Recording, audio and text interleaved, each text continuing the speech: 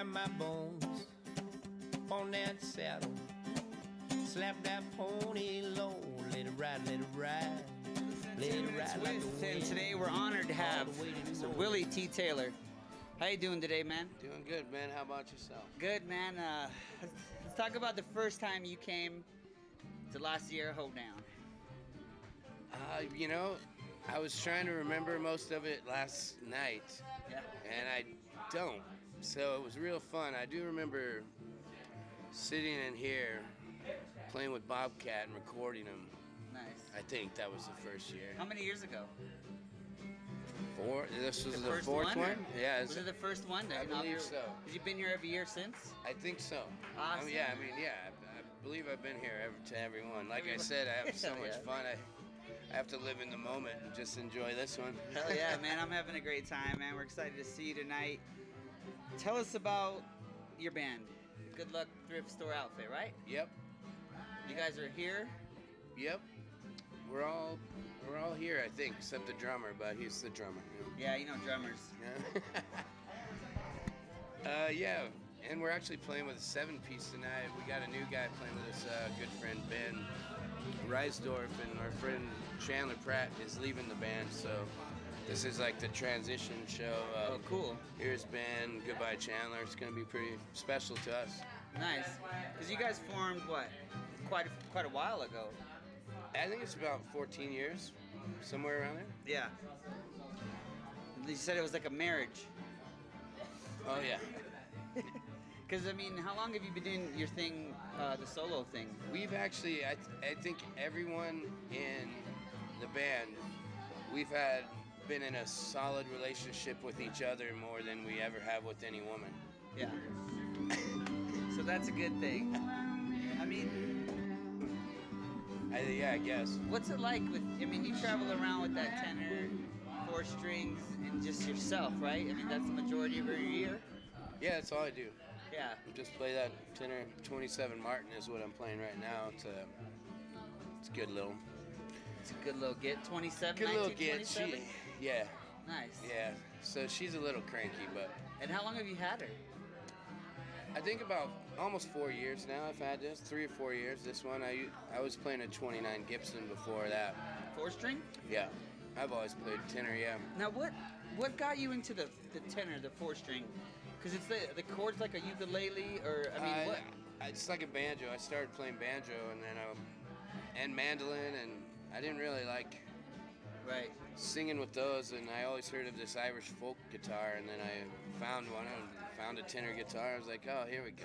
Now Now we're- that's your thing. Uh, yeah, so I found one probably. I don't know, I must have been about 26 years old, 25 or 6 years old. Nice. Yeah. I like it. And let's talk about like your songwriting process now. I mean, you've written a lot of great songs. And I mean, is there a couple or that you that are just like your favorites to play personally? Yeah, it's usually a new one. New material? Yeah, I just I guess I like keeping fresh, but I haven't wrote in a while. Been kind of just busy touring, so Right. I don't. I usually write at home, so I don't know. Yeah, there's some pretty special ones, I guess. You know, I'm I mean, not can sure. we throw one out there that you're kind of like feel I like. Uh, kindred on, you know? I have this song called "The Cattleman." I call it "The Evolution of a Cattleman," and it's it's it's just kind of about you know the evolution of a cattleman starts off on his horse and young and Right. always and then gets old and then he's on a tractor and then he dies you know? Right. and so it's it's both of my grandpas and Nice. they're that's let's talk about how you came up. Where were you born? And I mean, I know we're gonna get to the Janesville, Susanville connection, but let's talk about like where you were born and that kind of stuff. Where you um, grew up. oakdale knights ferry california just um yeah I lived there on a, on a cattle ranch in the middle of nowhere for the the start of my life and then uh, no uh, golden hills Oh, cool. golden hills Nice. And uh, yeah, in the middle of nowhere. It was, a, it was a really neat place to grow up. Hell yeah. And then my mom moved into town, and um, so we stayed with her. And then I just became a baseball fanatic. You know, my had stepbrothers, and there's five of us boys just playing baseball all the Hell yeah. time. So it was um, it was a good thing. And she worked in the prison system, and so um, around when I started sixth grade, I started it at Janesville Elementary. I was the new kid. So you moved to Janesville when you were sixth grade. Yeah. And then moved back for seventh grade to Oakdale, and then moved back for eighth grade up here. And then how long were you up there? I mean, did you graduate last in high school? No. No, no, I, I left uh, eighth grade and went to high school at Oakdale. Oh, back so I and did forth. sixth grade, yeah. Okay, so you like your younger years were, were at Janesville grade in that that area. Yeah, and it was actually, uh, well, just sixth grade. Um, Yeah. And that was the year that I got drafted to the Susanville All Star team. Oh yeah, the Little League World Series cats. Yeah, we were on the road. We, we had a That's awesome. We had, uh, s- to this day, some of the base, best baseball players I've ever played with. That's cool. Jack Moran, the left-handed wizard. Nice. Dana McCone was one of the truest ball players I've ever seen in my life. Bumper Moore, I still remember him. Like, uh, Hell yeah.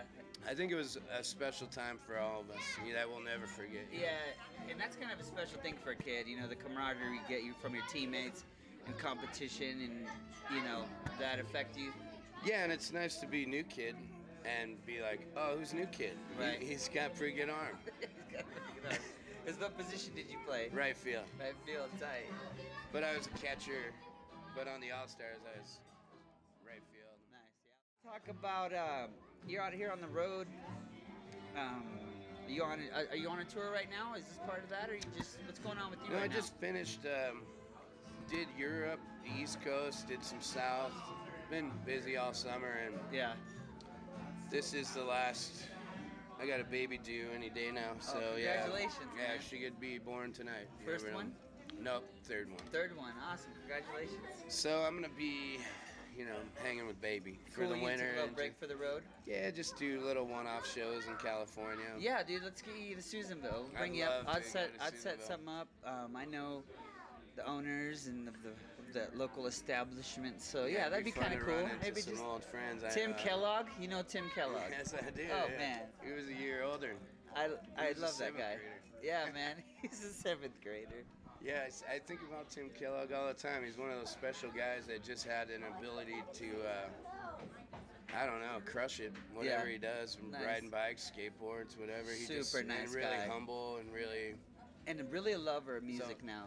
Oh man, pretty that's- cool, I'd man. like to hang out with him. Like, Yeah, it's we'll funny that from sixth grade how somebody.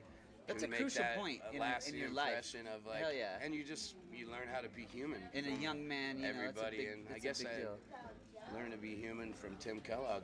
Hell yeah, man. You know, part of Shout my- out to Tim Kellogg. He's a friend of ours. Susanville cat. Um, let's go way back, Willy, and talk about your first memory of music. Your first memory of actual music in your life. Uh, one that stands out is uh, my dad was fixing a fence, and I was in the truck. It was like a, one of those Oakdale 110 Hot kind days. California hot days. And I was just sitting in my underwear, and he had the Giants game going. Giants game was always going, but then uh, I guess the game was over, and then the music started on this AM station, Yeah. and uh, it was um, El Paso by Marty Robbins. Oh, cool. And I remember staring out the window, looking at my dad, and then when I heard Marty Robbins start singing, I remember turning around and staring at the radio like, what the hell is this, man? And to this day, when I hear that song, I go back to my underwear and my dad building fence. That's I must have been about three, three or four, you know that. Man, well, I appreciate your time, Willy Tea Taylor. Thank you, Ben. 10 minutes with Willy Tea Taylor. Check him out. He's going to be a big name someday. He's already got a good following out there, man, and we appreciate you. Well, thanks. See you in Susanville. See you in Susanville. Hell yeah.